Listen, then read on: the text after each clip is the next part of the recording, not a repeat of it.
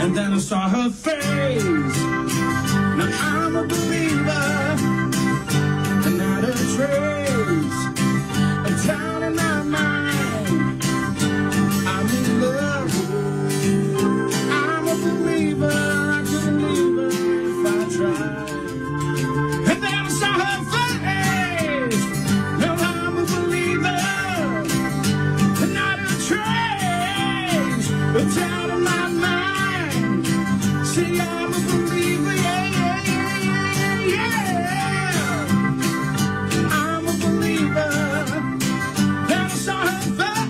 Aí, um pouco da banda liderada pelo Rodrigo, um jornalista muito querido, esportivo, um contador de histórias, um apaixonado por viagens, adorava Paris, adorava a França, contava sempre muitas histórias e a história dele é interrompida dessa maneira aos 45 anos.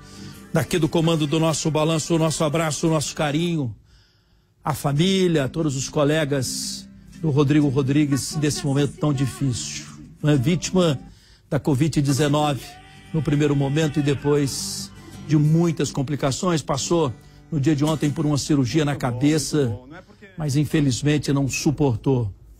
E de acordo com um boletim médico, ele foi diagnosticado, Henrique, após a Covid, com a trombose venosa cerebral, ou seja, uma trombose no cérebro, um quadro gravíssimo, gravíssimo, perdão.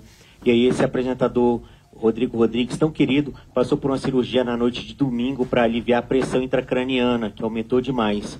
E aí na terça ele não resistiu, ele que estava em estado gravíssimo na UTI, e aí ele que foi um dos grandes nomes da televisão brasileira nas últimas décadas por essa simpatia, né, Henrique? Eu acho que a simpatia, a, a leveza que ele trazia, os debates, ele era um cara agradável, faziam dele uma pessoa muito especial e parecia, Henrique, eu vou falar como telespectador, que ele estava ali na tua frente, na sala da tua casa, conversando contigo e tomando uma cerveja. Uma aula de apresentação. A gente que trabalha com televisão, eu, por exemplo, tenho esse costume, evidente. Eu olho demais os meus colegas trabalhando para aprender, para aprender a forma com que ele se comunicava, a forma com que ele chegava dentro das nossas casas. Né? É, o, o Rodrigo tinha esse, esse talento nato. Você foi muito feliz na sua observação. É, Ele conversava de uma maneira sobre futebol, ou sobre música, sobre qualquer outro tema, como se estivesse sentado com você na mesa de um bar, batendo aquele papo. Ó, eu falando de, falei de Paris, ó, ele falando de Paris aí, ele fez um livro, né, contando um pouco dos lugares que ele conheceu é, em Paris. Por isso que eu citava aqui agora há pouco, porque eu acompanhava nas redes sociais, então tinha essa informação e esse vídeo que você buscou fala um pouco disso aí. Dá pra gente ouvir, Ed? Aperta o botão. É, eu selecionei as 30 estações que eu acho mais bacanas do metrô parisiense e agrupo é, as atrações próximas de cada estação. Por exemplo, é, Trocadero, para você conhecer a Torre Eiffel. Aí eu falo, tem a Torre Eiffel, se você quiser comer, tem um restaurante bacana aqui. Se você quiser comprar roupa, eu indico tal loja. Eu vou fazendo um raio em volta das estações do metrô, dizendo que atração legal que tem perto e o que que eu indico. Aí é mais dica pessoal mesmo. Ó, comi naquele restaurante é legal, fui naquela farmácia ali que a mulherada vai gostar porque tem uns produtos diferentes. Então é um guia para você conhecer a cidade usando o metrô. É uma, é uma série que você está fazendo, você já tinha É. feito uma de Londres. Isso, eu fiz o London London, que eu lancei em 2014, que virou uma série de TV que ainda não foi pro ar.